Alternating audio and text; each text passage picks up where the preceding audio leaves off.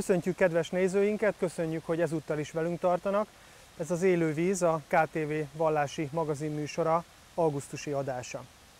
Két nagy témával készültünk erre az adásra. Az egyik a református egyházközség által életre hívott és működtetett Hajnalcsillag tanoda bemutatása. A Műkert városban 2019 óta működik ez a tanoda, amely hátrányos helyzetű gyerekeknek nyújt oktatásra, étkezésre, közösségi programokra és lelki elmélyülésre lehetőséget. Meglátogattuk őket, hogy milyen egy napjuk. Bárdos Péterné Edit, a tanoda vezetője nyilatkozott nekünk arról, hogy milyen ott az élet. Nagy Károly plébános atya neve bizonyára sokaknak ismerős itt Kecskeméten és a környéken. Károly atya augusztus elején lelki gyakorlatot tartott a városban, visszatért, ugyanis 50 évvel ezelőtt szentelték őt pappá, Izsákon kezdte működését, majd Kecskeméten folytatta hosszú éveken keresztül. Nagyon fontos közösségépítő szerepe volt az atyának, azóta már Budapesten szolgál, de itt járt és mesélt nekünk arról, hogyan is kezdődött az ő papi hivatása, mi a papi elmondata, és hogyan éli meg a hitét, hogyan építi a közösséget bármelyik városban, ahová megy. Tartsanak, Tartsanak velünk! velünk.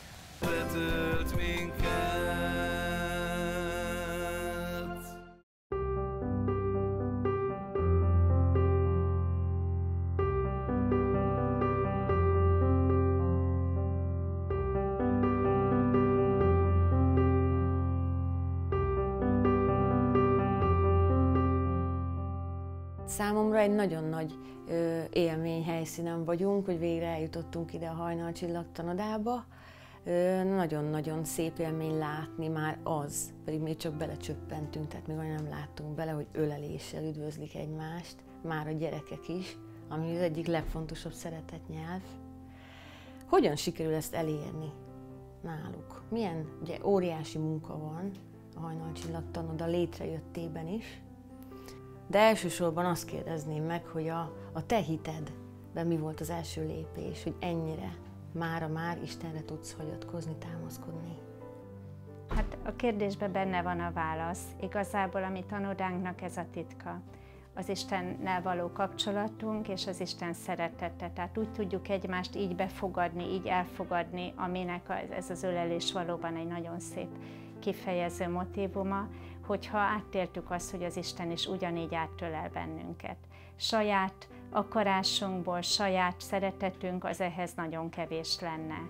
Mindig is mondom kollégáimnak, önkénteseknek, hogy erőn feletti az az út, amelyre az Úristen bennünket elindított, de nagyon szép.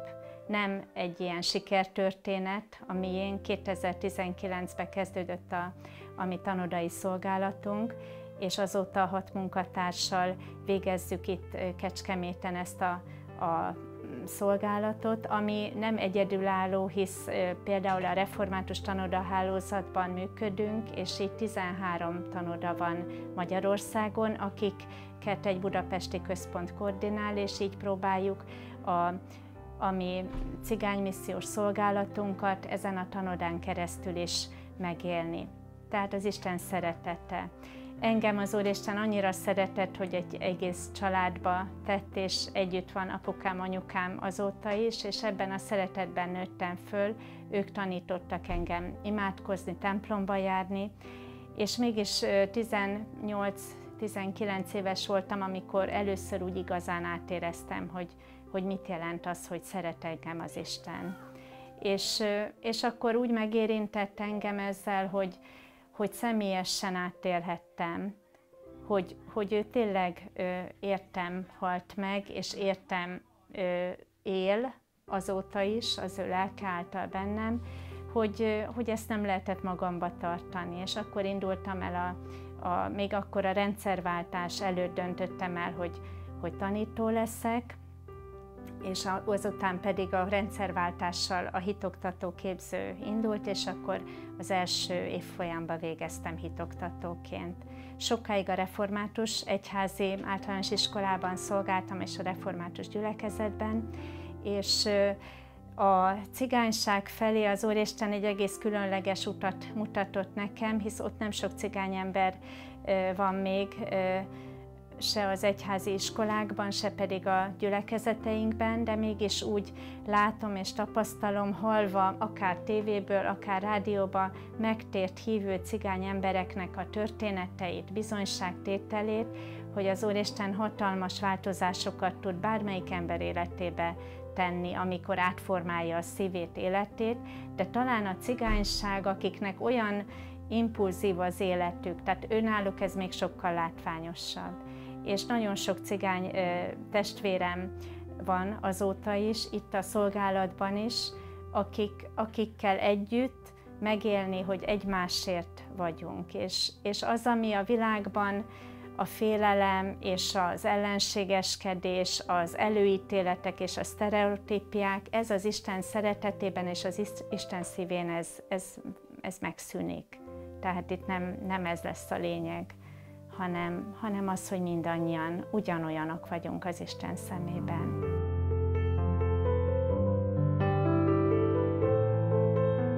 A hajnalcsillag tanoda létrejötte is, tehát ez egy elhívás volt, az egyértelmű.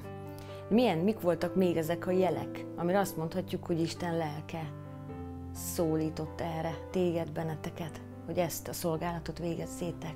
Ez korábbra nyúlik vissza, hisz a reformátusok itt Kecskeméten. Évek óta kijártak a Mezei utcára, ilyen nyári táborokat szerveztek, gyerektáborokat, ahol nem csak ö, bibliai történeteket mondtak, vagy mondtunk nekik, hanem, hanem jól megetettük őket, mert igazából a, a has a legjobb út azután az evangéliumhoz, és, és akkor ezen keresztül indult ez a, ez a cigány misszió itt Kecskeméten, de ez csak egy-egy ilyen nyári program volt, utána pedig babamama klubok alakultak, és amikor ezek a gyerekek, akik az anyukájukkal jártak szerdánként ilyen babamama körbe, ők növekedtek, és akkor jött ez a gondolat, és nyílt ez a kapu.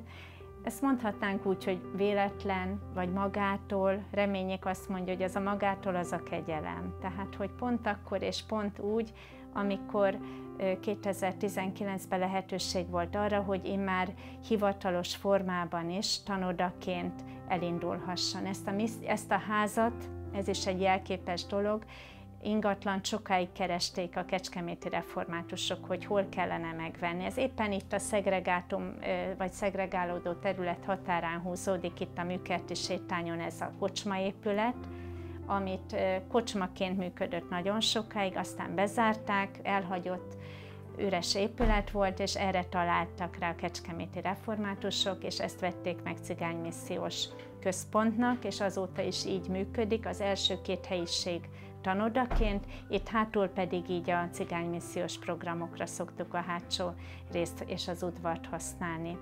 Tehát így indult a mi tanodánk, ami egy egyedülálló így itt a megyében is, tehát inkább Észak-Magyarország és Dél-Dunántúl, ahol a többi tanoda működik így református kötődésben.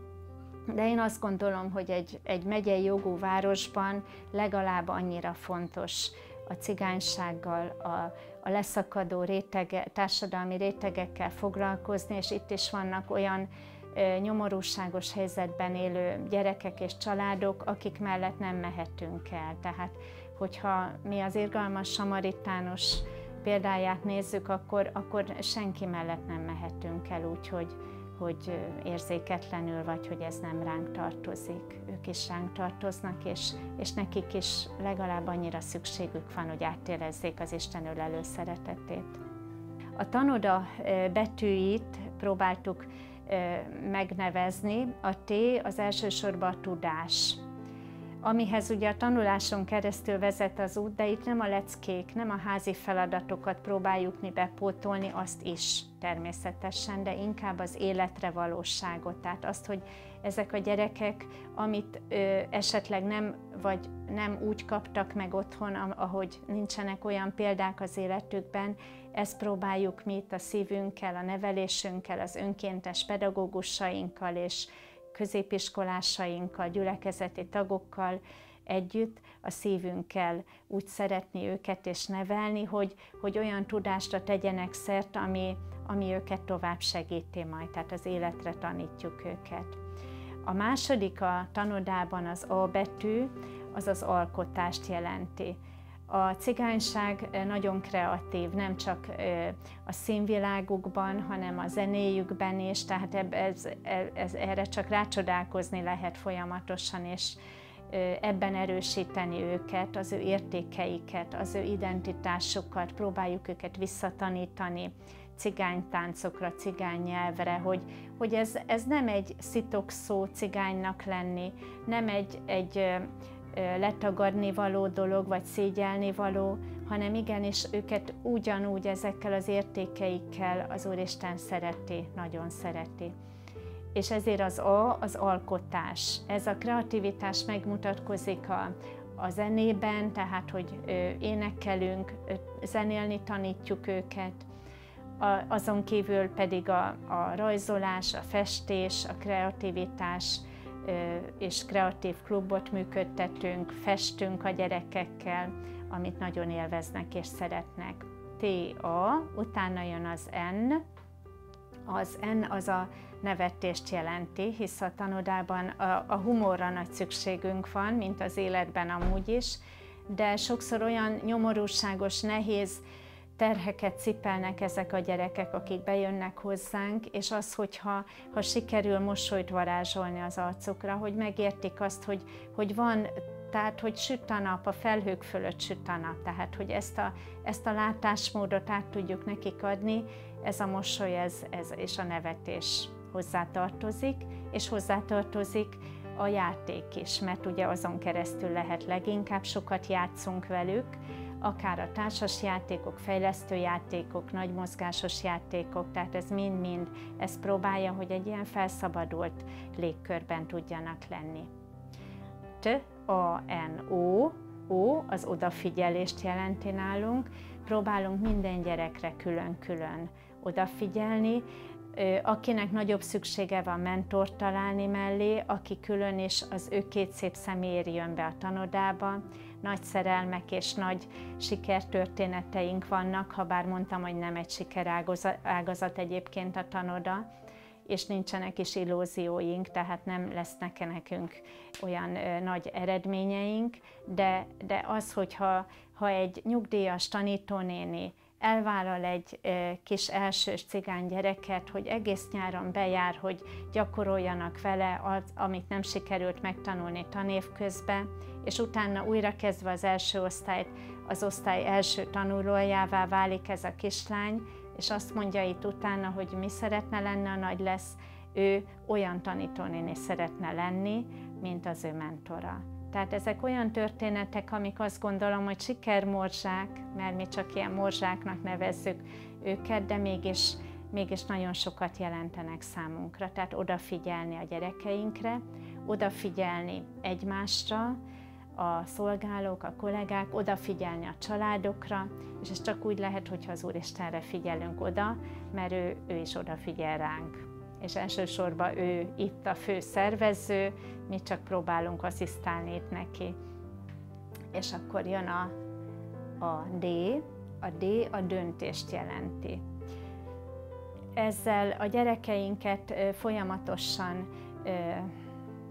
erre biztatjuk, hogy, hogy döntsenek, tehát mindig van választási lehetőség. Nem kell nekik a negatív minták után menni, lehet nekik mást választani, tehát mindig van döntési helyzet, és erre próbáljuk őket is ránevelni már a kezdettől fogva, hogy ő dönti el, hogy ő akkor tanodás lesz, és akkor onnantól kezdve viszont ennek vannak feltételei, vannak olyan dolgok, amikbe bizony sokszor nemet kell aztán mondani dolgokra, és vannak olyan dolgok, amikre meg igent és én azt gondolom, hogy ez a felelősség az, ami őket többé teszi utána az életben is majd. És az utolsó betű az az A, az az ajándékot jelenti nálunk. A Biblia szóhasználatával ugye ez az áldás, az Isten ajándéka, és mindig kap, kapnak itt a gyerekek sok mindent. Nem csak ölelést, meg jó szót, meg tanítást, meg korepettálást, meg néha egy kis élelmiszercsomagot, hogyha sikerül. Az igazi ajándék az, az maguk a gyerekek, és maguk, ahogy, ahogy felfedezzük bennük azt, ahogy Isten látja őket, amilyen hatalmas csodák ők is, és megtanítani őket arra, hogy milyen értékesek, mert, mert gyakran ezt, ezt ők egyáltalán nem tudják és, és csak rosszat tudnak magukról mondani. Tehát ha ebből ki tudjuk őket mozdítani, akkor indulhatnak el azon az úton, hogy, hogyha elmerik hinni magukról, hogy ők tényleg áldások, akkor indulnak el az áldás útján, és tényleg azzá is fognak tudni válni áldássá.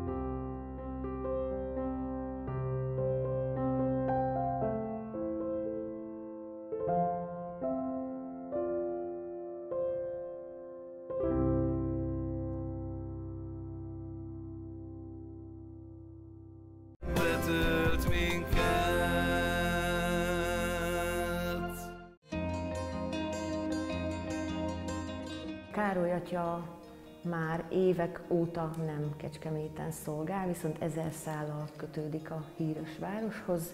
Melyek ezek, hogyan kezdődött egyáltalán a papi szolgálata? Hát a papi szolgálatom, mondjam azt, hogy három éves koromban kezdődött.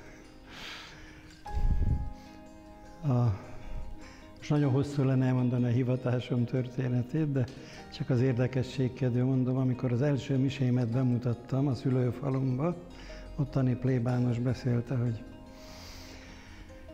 hogy eh, egy nagymama beállított az irodába három éves unokájával, és ott látott a falon egy feszületet, ez a kisgyerek, és azt mondta, hogy lelki atya, emeljen fel. Hát miért emeljelek föl? Mert szeretem Jézust. És ez a gyermek most mutatja be első miséjét. Lehet, hogy itt kezdődött. Na, de nyolcadikban már nem akartam pap lenni, már föl is vettek Pesten oskolába, és akkor jött el hozzánk a plébános, hogy van Kecskeméten katolikus gimnázium, hát lenne kedvem ide jönni, nem kell papnak lenni, csak mégis hát vallásos nevelés, minisztrás voltam. és hát a szüleim igent mondtak, nagyon szegények voltunk, de mondták, hogy és épp házépítés közben, mondták legfeljebb 20 évvel később lesz kész a ház, de jöhetek, ha van kedvem.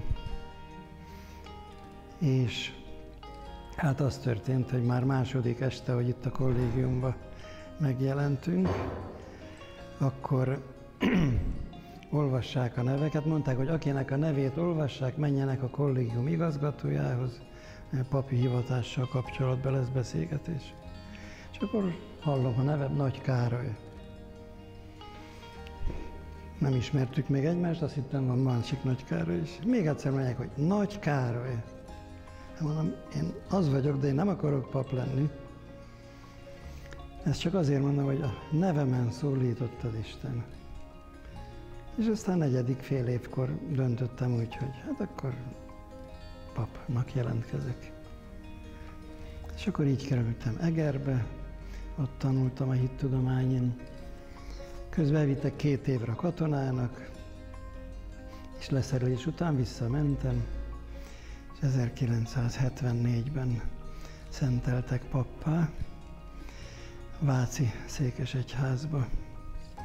És első állomás helyem az itt Bács-Kiskun megyébe Izsák, ott öt évig szolgáltam, onnan kerültem be Kecskeméti nagy templom, 11 évig, majd 1990-be kerültem plébánosnak a Budapest 18. kerület, a Vanna lakótelep, és akkor ott 17 év szolgálat után Zuglóba, 14. kerületbe, a Rózsafüzér királyné a templomba.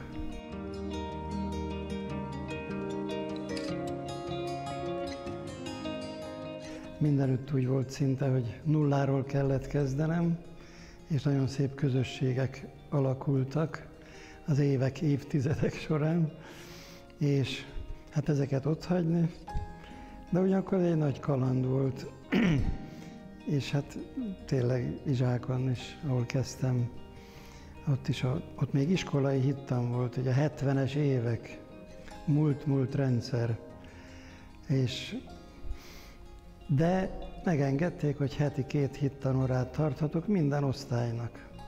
Ez a biztosította a, a rendszer. És hál' Istennek ott is egyre több gyereket sikerült összeszedni. Ott fociztam velük, játszottunk, ez minden nap ott volt, köztük éltem.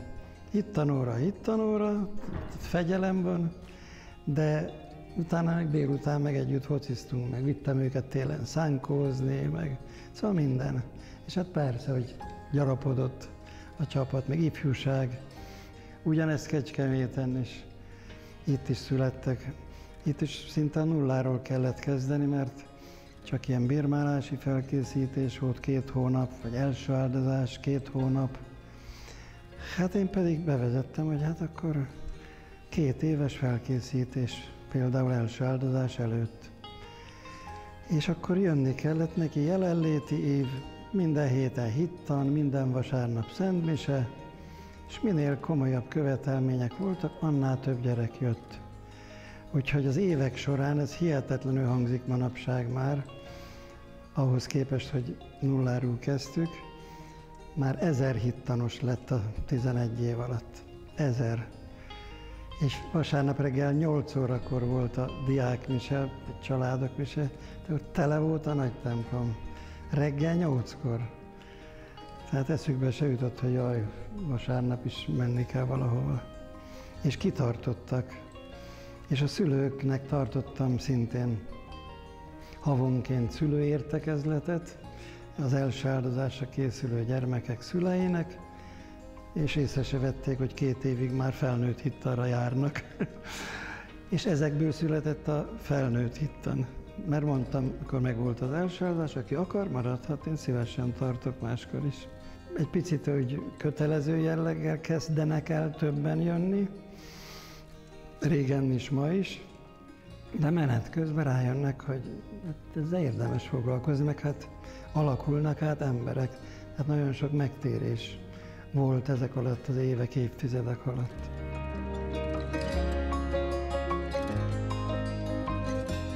Kisgyerekes családoknak is tartottunk lelki gyakorlatot minden évben, és elvonultunk, akkor szombathelyre például, és első este egy bemutatkozás volt, és akkor egy édesapa fölállt, ugye a családjával együtt jött, hogy ő, ő 200 százalékig nem vallásos, ha így itt maradhat, akkor itt marad, ha nem, akkor hazamegy, mert ő csak a családját kísérte el.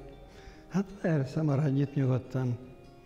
És ó, harmadik este, akkor megint ilyen beszélgetés volt, mondja, hogy hát már úgy érzi, hogy már csak száz százalékig nem hívő. És ez történt májusban, ősszel már bejelentkezett Szent Jónásra például. Most több ilyen van, ismétlem, hogy a hit hallásból ered, tehát így alakultak át emberek. Vagy egy másik, hát én nem tudom, hogy Szent Jónásra évekig vagy évtizedekig készült egy férfiú, akkor is egy lelki gyakorlaton voltunk, és hát akkor már úgy rászánta magát, hogy akkor szeretne gyalni. Hát jó, mondom, akkor sétáljunk. Épp egy keresztút volt ott a, ezen a helyen, és amikor a negyedik állomáshoz értünk, mert így sétál közben végezte a gyónását, akkor pont a Jézus az édesanyjával találkozik. A vihar beterelt bennünket oda a szűzanya lábai alá, és ott zajlott le ez a szentgyónás, Mária karjai között Jézus és Mária jelenlétével kapta meg a feloldozást.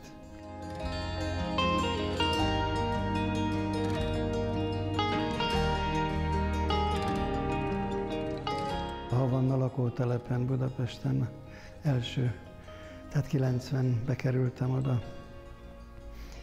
Ott egy új plébánia épület lett kész, amikor oda költöztem, és akkor olyan riszrosz drótkerítése be volt kerítve a plébánia udvara, és ott maradt egy kupac homok.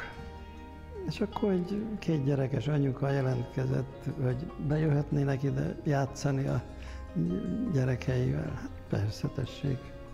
És egy tízemeletes házak közepén volt ez a plébánia, és akkor onnan látta rengeteg ember, hogy hát itt van egy homokozó. Volt a lakótelepen, de ott nyitott, meg kutya akármikkel, ez meg egy zártabb volt, bejöhetnek, hát tessék. És elkezdtek oda járni, hát aki akart, tehát nem csak a templomba járók. És ez a homokozó nagyon sok embernek a megtérését készítette elő. Itt nem akarta a gyerekét kereszteltetni, ő nem járt templomba, nem volt vallásos, és akkor hát mi a feltétel? Hát akkor, hát mondom, akkor fel kell készülni erre a keresztelőre, hát nem járt templomba, kiderül, hogy meg sincs keresztelve az anyuka. hát akkor? Hát mondom, tudok könyvet is adni, meg szívesen leülök beszélgetni is, de javaslom, hogy már akár holnap eljöhet ide a homokozóba. És ne vicceljek már. De mondom, tessék beülni ott az anyukák közé. És akkor egy év múlva beszélgettem is vele, meg könyvet is kapott, de megköszönte, hogy egy évig foglalkoztam vele, de köszöni a könyvet is, meg a beszélgetéseket, de a homokozónak köszöni, hogy ő most már megkeresztelkedik ő, aztán a gyereke is, aztán házasságuk rendezve minden. És ahogy jött a rossz idő, de persze már homokozót is kezdtük akkor ott kialakítani, mert kezdtük kinőni, meg hogy ott legyen már játék és stb. Jött a rossz idő, akkor mondták, hogy hát akkor most mi lesz? Hát legalább egy héten egyszer bekérezkedhetnek a plébánia épületébe. hát tessék. Aztán hetente kétszer is lehetne. A lényeg az, hogy mindennapossá vált, minden délelőtt jöttek a kisgyerekes anyukák, és akkor rájöttek, hogy hát ez olyan, mint egy óvoda.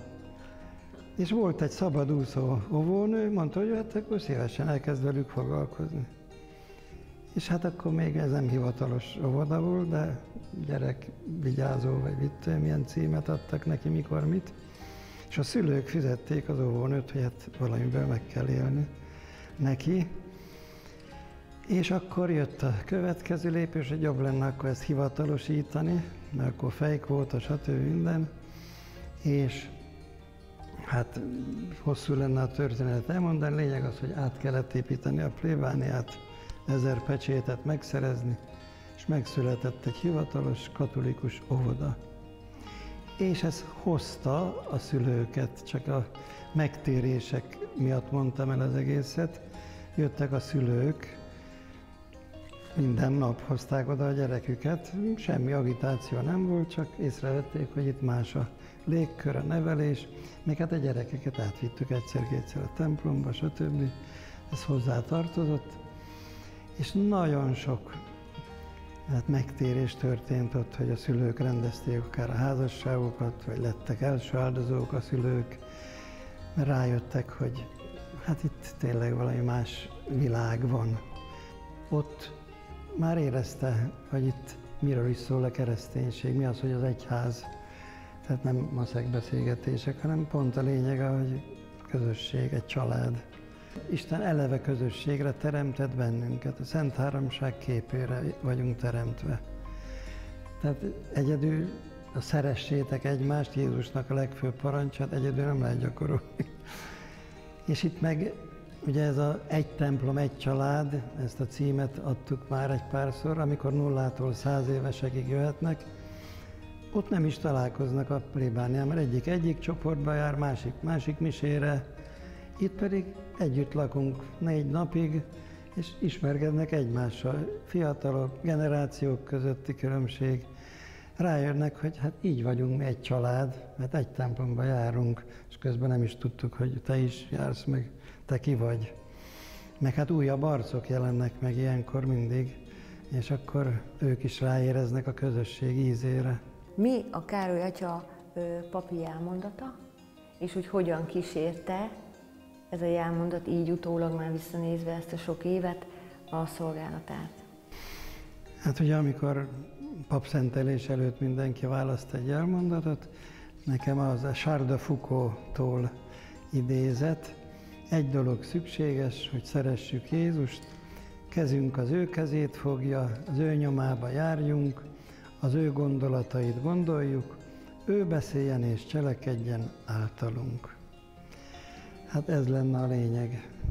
Hát aztán menet közben már ugye újabb mondatok is jelentek meg, a legyenek minnyájan egy, Jézus legfőbb vágya, tehát ezen is dolgozok. Nem csak a plébánián, hanem a papokkal is így összejárok. Tehát ez a legyenek minnyáján egy. Mindenütt ez lenne a lényeg, hogy a Krisztus követők egy legyenek.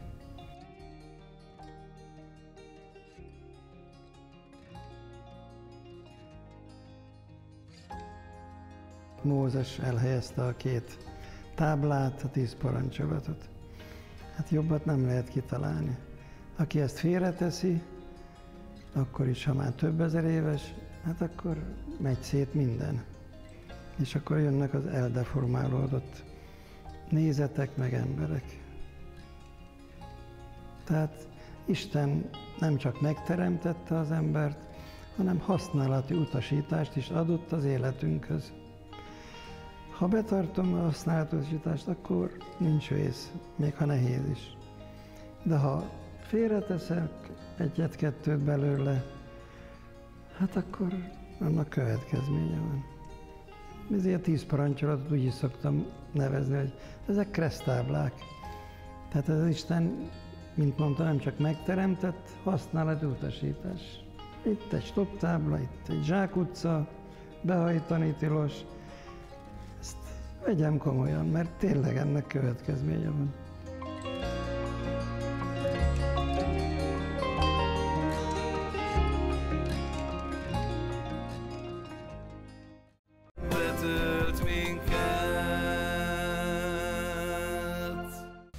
Köszönjük, hogy most is velünk tartottak, szeptemberben újra várjuk majd Önöket. A, az élővíz műsorait addig is bármikor újra megnézhetik az interneten, a legnagyobb videó megosztó felületen, illetve a híros.hu oldalra is kitesszük a legérdekesebb riportokat. Áldott nyárutót kívánunk! Élővíz árad, élővíz élte az élet.